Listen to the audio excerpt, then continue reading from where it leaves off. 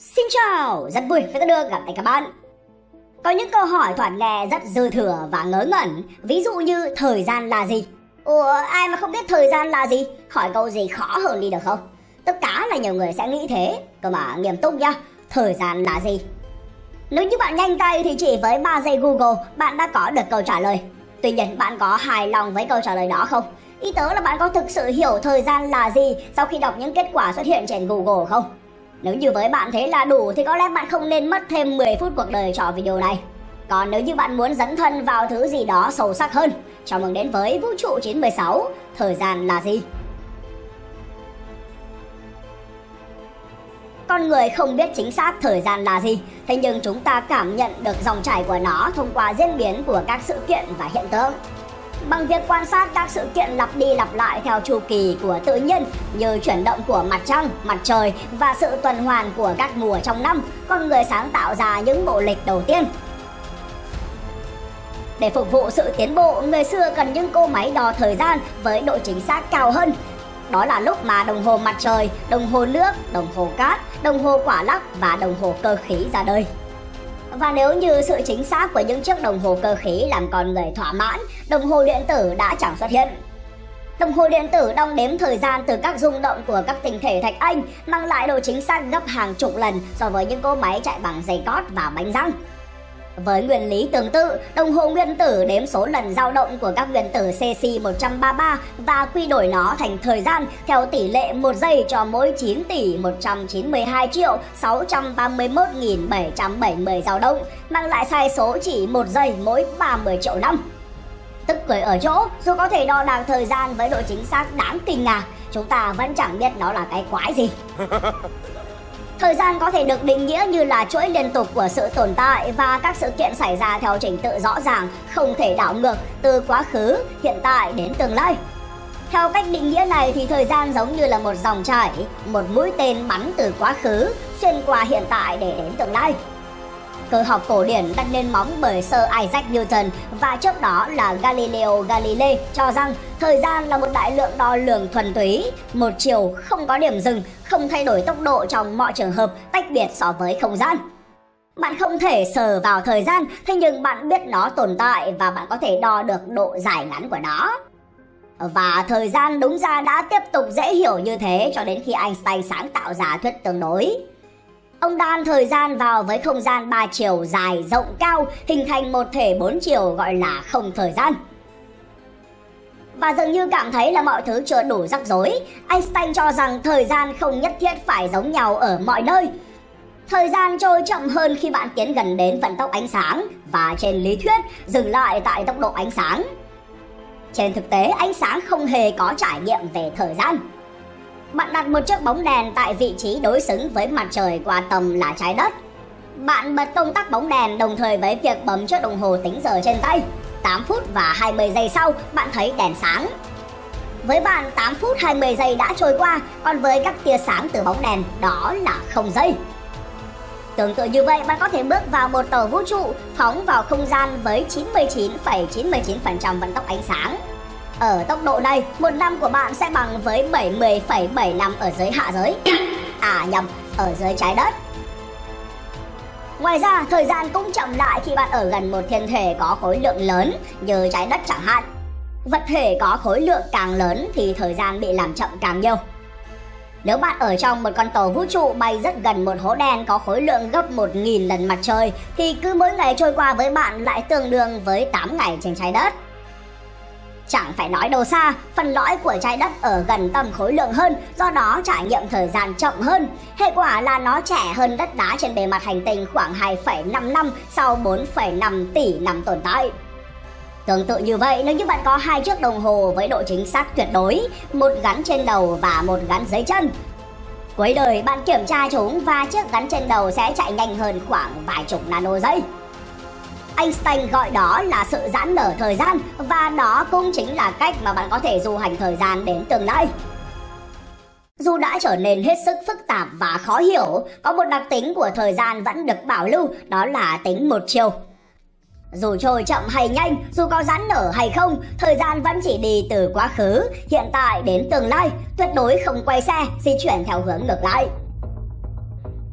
Điều này thì đã ngăn cản khả năng du hành thời gian về quá khứ, ngay cả trên lý thuyết.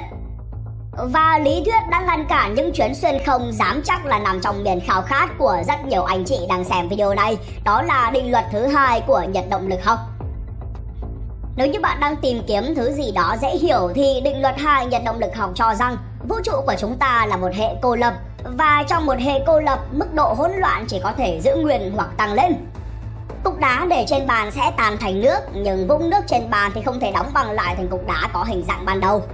Một chiếc lốp thủng sẽ xì hơi và xẹp xuống, thế nhưng không khí sẽ không thể chui ngược vào bên trong và làm chiếc lốp căng trở lại.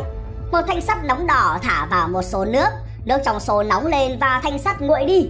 Ở chiều ngược lại, nước nóng trong xô có thể nguội đi nhưng thanh sắt sẽ không nóng đỏ trở lại.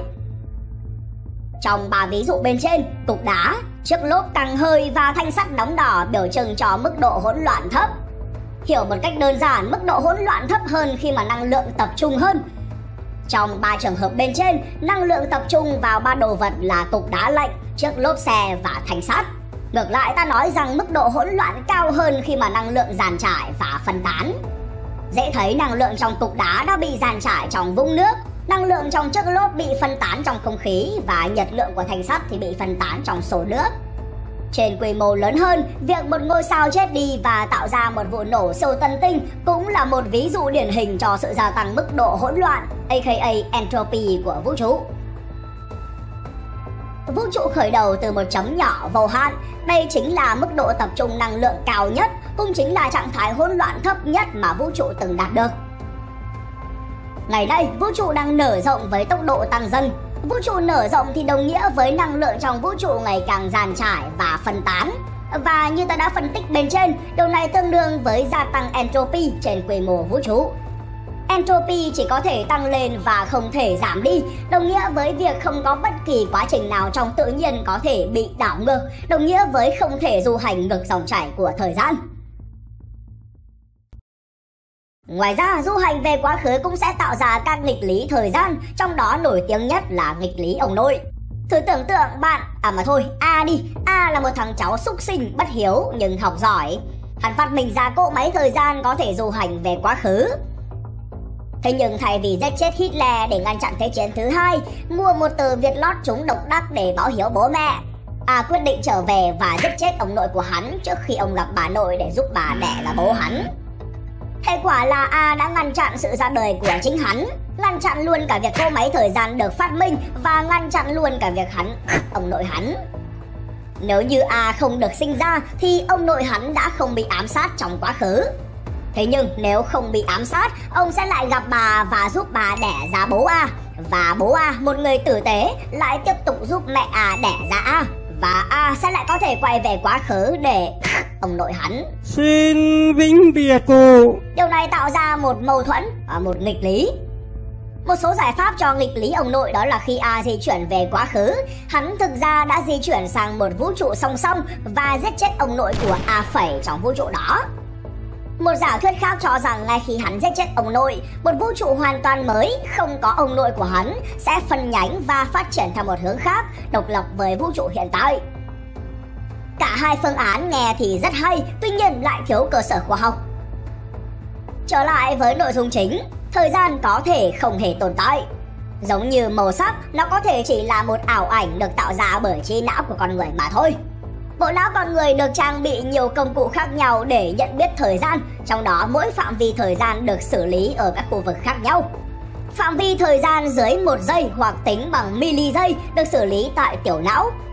Phạm vi thời gian tính bằng giây đến phút được xử lý bởi mạch cortical striatum, vỏ não vận động, thùy đỉnh và vỏ não trước chán.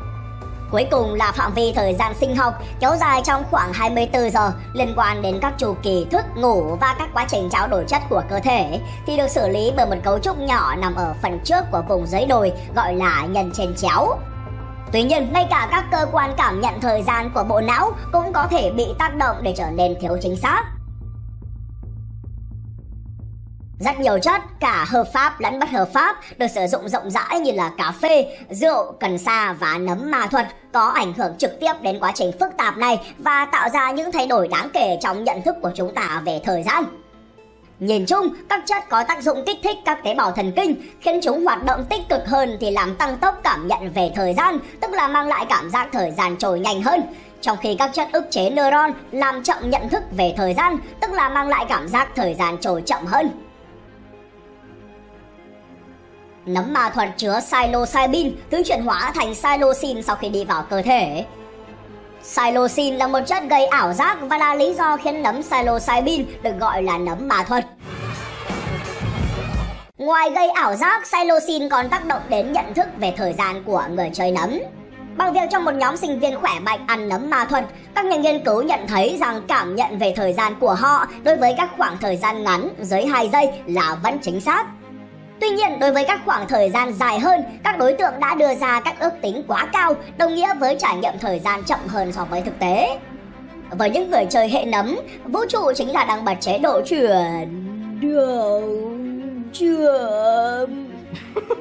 Ngoài ra, thời gian dường như cũng chậm lại trong các tình huống khẩn cấp hoặc nguy hiểm, như là trước một vụ va chạm giao thông hay trong khoảnh khắc bạn té ngã. Nghe thì có vẻ giống như là bộ não đã tăng tốc độ xử lý để bẻ cong thời gian. Thực tế không phải như vậy. Các nhà khoa học cho rằng não bộ không tăng tốc, chỉ có hạch hạnh nhân hoạt động tích cực hơn một chút. Hạch hạnh nhân là vùng não tạo ra ký ức. Khi mà tình huống nguy hiểm xảy ra hay khi bạn cực kỳ sợ hãi, hạch hạnh nhân tạo ra thêm các ký ức bổ sung khiến ký ức của bạn về những khoảnh khắc nguy hiểm hay đáng sợ trở nên phong phú và dày đặc hơn. Điều này tạo ra ảo giác rằng sự kiện đó đã xảy ra lâu hơn hay chính là thời gian đã trôi chậm lại. Các nhà tâm lý học tin rằng bộ não con người có xu hướng hình thành nhiều ký ức về những trải nghiệm mới lạ hơn là những trải nghiệm quen thuộc.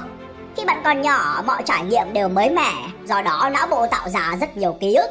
Khi bạn trưởng thành, bạn bước vào guồng quay của gia đình và công việc với những tác vụ lặp đi lặp lại. Số lượng trải nghiệm mới ít dần, các ký ức mới cũng ít được tạo ra hơn. Như một hệ quả tất yếu, các sự kiện trong đời bạn trở nên mỏng hơn, kém phong phú hơn, tạo ra ảo giác rằng thời gian dường như trôi nhanh hơn. Đó cũng chính là lý do khiến người lớn thường cảm nhận rằng thời gian trôi nhanh hơn so với khi họ còn trẻ. Trở lại với thời gian, các nhà khoa học khá là chắc chắn rằng thời gian có một điểm khởi đầu cách đây khoảng 13,8 tỷ năm. Nếu như thời gian không có điểm khởi đầu, hay chính là nếu như mũi tên thời gian kéo dài vô tận về phía quá khứ, chúng ta chắc chắn đã biết điều đó. Ánh sáng từ hàng tỷ tỷ ngôi sao trong vũ trụ đã có đủ thời gian để đến trái đất và thắp sáng bừng bầu trời đêm của chúng ta. Nói cách khác, nếu thời gian có một quá khứ dài vô tận, trái đất đã không có bầu trời đêm như ngày nay. Và nếu thời gian có điểm khởi đầu, liệu nó có điểm cuối hay không? Chúng ta không biết. Nếu như vũ trụ là vĩnh cửu, thời gian sẽ dài vô tận. Nếu một Big Bang mới xảy ra, dòng thời gian của chúng ta sẽ kết thúc và một dòng thời gian mới bắt đầu. Có vẻ như chỉ có thời gian mới có thể trả lời mọi câu hỏi về thời gian nếu như nó thực sự tồn tại.